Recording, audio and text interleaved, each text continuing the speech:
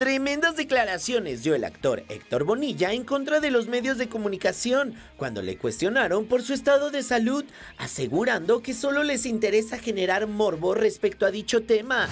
Bueno, es patético que lo único que les interese a gran parte de la prensa es preguntarme si me voy a morir.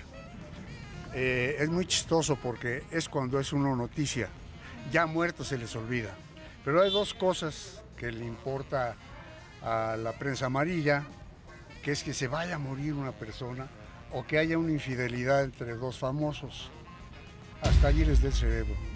Pero a esa gente que está esperando con morbo saber si me voy a morir o no, no me importa comunicarles nada, porque simplemente morbo.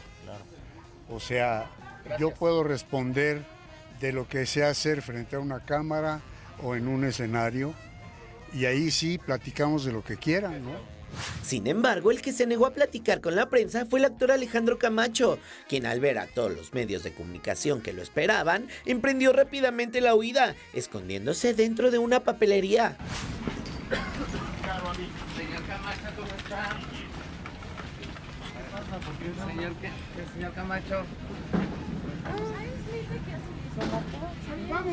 Con imágenes de Enrique Patrón e información de Quique Navarro, La Cuchara.